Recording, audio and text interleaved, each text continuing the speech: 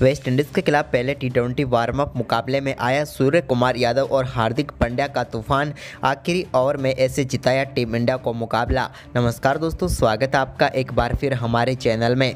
भारत और West Indies के बीच T twenty series से पहले खेले गए वार्म अप मुकाबले में भारतीय टीम ने शानदार परफॉर्मेंस करते हुए वेस्ट इंडीज़ की टीम को हरा दिया है। तो दोस्तों, हम आपको इस मुकाबले का पूरा हाईलाइट इस वीडियो में बताएँगे, लेकिन दोस्तों, उससे पहले आप भी सूर्य कुमार यादव और हार्दिक पांड्या की शानदार बल्लेबाजी देखकर खुश हैं। तो इस वीडियो को लाइक ज़रूर करें और साथ ही साथ अभी तक चैनल को सब्सक्राइब नहीं किया तो चैनल को सब्सक्राइब करके बेलाइकन ज़रूर दबा लें। तो चलिए दोस्तों, जानते हैं इस मुकाबले का पूरा रोमांच शुरुआत से ही। तो दोस्तों, आज के इस मुकाबले में टॉस जीता वेस्ट इंडीज़ के कप्तान निकलस पुरन ने और पहले बल्लेबाजी का फैसला किया।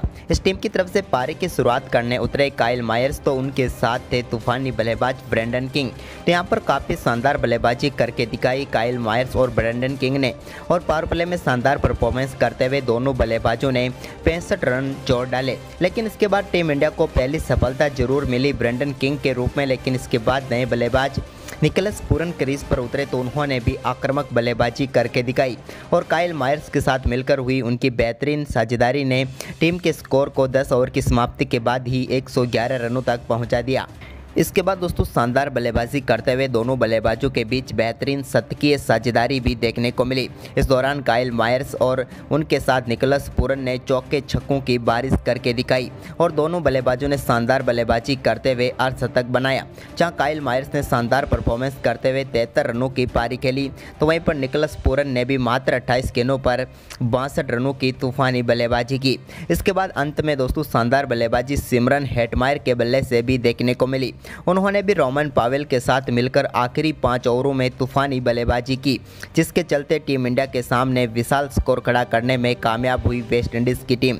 हम बात करें सत्तरवें ओवर की तो इस ओवर में शानदार परफॉर्मेंस करते हुए रोमन पावेल के बल्ले से तीन बेहतरीन छक्के देखने को मिले। तो वहीं पर दोस्तों, इसके बाद अंत में शानदार परफॉर्मेंस करते हुए सिमरन हेटमायर ने भी आखिरी ओवर में शानदार बल्लेबाजी करते हुए तीन चौके व एक छक्कू की बदौलत इस ओवर में भी उन्होंने 20 रन बटोरे और भारतीय टीम के सामने विशाल स्कोर खड़ा किया। वेस्ट इंडीज़ की टीम ने निर्धारित 20 ओवर में 217 रनों का विशाल स्कोर खड़ा किया और भारतीय टीम के सामने 218 रनों का लक्ष्य रखा। वेस्ट इंडीज़ के बल्लेबाजों ने किसी भी भारतीय गेंदबाज को नहीं बख्शा और सभी गेंदबाजों के ऊपर काफ़ी कड़े प्रहार किए, जिसके चलते विशाल स्कोर खड़ा करने में कामयाब हुई वेस्ट इंडीज़ की टीम। वहीं पर इस लक्ष्य का पीछा करने उतरी टीम इंडिया की तरफ़ से पारी की शुरुआत करने उतरे। ईशान किशन तो उनके साथ थे सोपमन गिल। दोनों बल्लेबाजों ने कमाल की शुरुआत करनी शुरू कर दी। और पहले ही ओवर में जहाँ एक चौका देखने को मिला, शुभमन गिल के बल्ले से तो वहीं पर इसी तरह का शानदार शॉट ईशान किशन ने भी खेला। लेकिन टीम इंडिया को पहला झटका तीसरे ओवर में लगा। जब यहाँ पर एक कट शॉट खेलना चाहते थे ईशान किशन, लेकिन सीधे स्लिप में खड़े फील्डर के हाथों के इस्तेमाल बैठे और भारतीय टीम को पहला झटका लगा। लेकिन इसके बाद दोस्तों नए बल्लेबाज के तौर पर क्रीज पर उतरे टीम इंडिया की तरफ़ से राहुल त्रिपाठी ने आते ही शानदार चौके के साथ बेहतरीन आगाज़ किया। तो वहीं पर इसके बाद दोस्तों उनके बल्ले से एक और शानदार चौका देखने को मिला। तो वहीं पर शुभमन गिल ने भी कमाल की पार्टनरशिप इनके साथ मिलाई और दोनों बल्लेबाजों ने छः ओवर की समाप्ति तक भारतीय टीम का स्कोर इकसठ रनों तक पहुँचा दिया एक विकेट के नुकसान पर। लेकिन इसके बाद शोभमन गिल ने एक शानदार फ्लिक शॉट के ज़रिए सातवें ओवर की तीसरी गेंद पर बेहतरीन छक्का जड़ा। तो वहीं पर कुछ इसी प्रकार का शानदार शॉट खेलते हुए एक और शानदार चौका उनके बल्ले से देखने को मिला। वहीं पर इसके बाद एक और बेहतरीन छक्का स्ट्रेट डाउन द ग्राउंड देखने को मिला शुभमन गिल के बल्ले से। तो वहीं पर राहुल त्रिपाठी ने भी एक शानदार छक्का लगाकर टीम के स्कोर को आठ ओवर की समाप्ति के बाद अब सतहत्तर रनों तक पहुँचा दिया। लेकिन इसके बाद दोस्तों यहाँ पर शुभमन गिल के रूप में टीम इंडिया को एक और झटका लगा। तो उन्हीं के साथ राहुल त्रिपाठी भी चलते बने। अब टीम इंडिया थोड़ी मुश्किलों में फंस चुकी थी क्योंकि भारतीय टीम को अभी भी एक बड़े लक्ष्य का पीछा करना था। लेकिन दोस्तों इसके बाद हार्दिक पंड्या और सूर्य कुमार यादव ने अपनी टीम के स्कोर को आगे बढ़ाना शुरू किया। दोनों बल्लेबाजों ने संभल कर बल्लेबाजी की तो टीम के स्कोर को चाहते हुए रन रेट के साथ भी आगे बढ़ाया। भारतीय टीम का स्कोर अब 12 ओवर की समाप्ति के बाद 120 रन हो चुका था, लेकिन इसी बीच यहाँ पर तेरहवें ओवर की पहली गेंद पर स्टेट डाउन द ग्राउंड बेहतरीन छक्का हार्दिक पांड्या के बल्ले से देखने को मिला। तो वहीं पर इसी ओवर की चौथी गेंद पर भी उन्होंने एक और शानदार पंच शॉट खेलते हुए गेंद को बाउंड्री लाइन के पार भेजा। तो वहीं पर इसके बाद दोस्तों सूर्य कुमार यादव ने भी चौदहवें ओवर की पहली गेंद पर एक बेहतरीन छक्का जड़ा। उन्होंने बैकवर्ड स्क्वाड लेग की तरफ़ गेंद को छह रनों के लिए भेज दिया। तो वहीं पर इसके बाद हार्दिक पांड्या ने एक और शानदार फ्लिक शॉट खेलते हुए गेंद को चार रनों के लिए भेजा। अब भारतीय टीम का स्कोर शानदार तरीके से पंद्रह ओवर की समाप्ति के बाद एक सौ बावन रनों तक पहुँच चुका था। इसके बाद दोनों बल्लेबाजों ने शानदार परफॉर्मेंस करते हुए धीरे धीरे अपने अर्शतकों तक पहुँचे। इस दौरान शानदार परफॉर्मेंस करते हुए हार्दिक पांड्या ने सत्तरवें ओवर में अपना अर्शतक पूरा कर लिया। तो वहीं पर इसी ओवर की चौथी गेंद पर भी सूर्या ने अर्शतक पूरा कर लिया। लेकिन दोस्तों, यहाँ पर अच्छी वापसी रही वेस्ट इंडीज़ की टीम की अट्ठारहवें ओवर में। जहाँ अठारहवा ओवर सिर्फ़ छः रनों का ही निकला और ये दोनों बल्लेबाजों को इस ओवर में काफ़ी परेशानी झेलनी पड़ी। लेकिन दोस्तों, अब भारतीय टीम को आखिरी दो ओवर में मुकाबला जीतने के लिए ज़रूरत थी इकतालीस रनों की। लेकिन दोस्तों, यहाँ पर शानदार परफॉर्मेंस रहा उन्नीसवें ओवर में हार्दिक पांड्या का।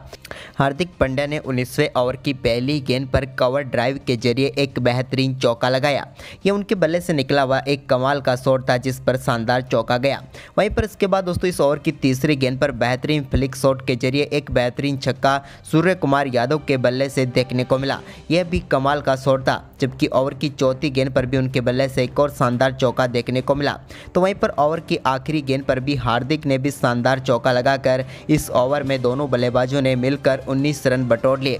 लेकिन आखिरी ओवर में अब टीम इंडिया को जीत के लिए 22 रनों की ज़रूरत थी, लेकिन अब स्ट्राइक पर आ चुके थे सूर्य कुमार यादव। आखिरी ओवर की पहली गेंद पर सूर्य कुमार यादव के बल्ले से एक कमाल का शॉट विकेट के पीछे देखने को मिला। और सूर्य कुमार यादव ने पहली ही गेंद पर शानदार छक्का जड़कर टीम इंडिया की इस मुकाबले में वापसी करवा दी, क्योंकि अब पाँच गेंदों पर चाहिए थे बाईस रन। तभी दोस्तों, ओवर की दूसरी गेंद पर भी एक बार फिर ठीक उसी प्रकार का शॉट खेलते हुए सूर्या ने गेंद को बाउंड्री लाइन के पार भेजा और इस बार भी स्टैंड में डिपॉजिट किया छः रनों के लिए।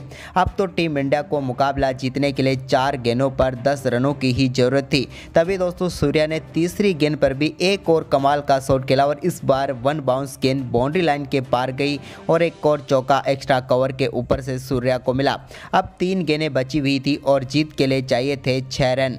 तभी दोस्तों चौथी गेंद पर सूर्य कुमार यादव ने एक और शानदार चौका बैकवर्ड स्क्वाड लेग की तरफ़ लगाया। अब तो मुकाबला टीम इंडिया की बिल्कुल पकड़ में आ चुका था, क्योंकि दो गेंदों पर मुकाबला जीतने के लिए सिर्फ़ दो ही रन चाहिए थे।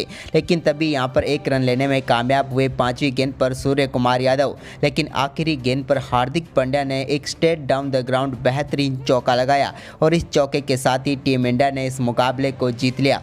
सूर्य और हार्दिक की शानदार बल्लेबाजी ने आखिरी ओवर में टीम इंडिया को बेहतरीन जीत दिलाई। तो दोस्तों, आपको ये मुकाबला कैसा लगा, हमें अपनी राय कमेंट में दें और वीडियो को शेयर करें। धन्यवाद दोस्तों।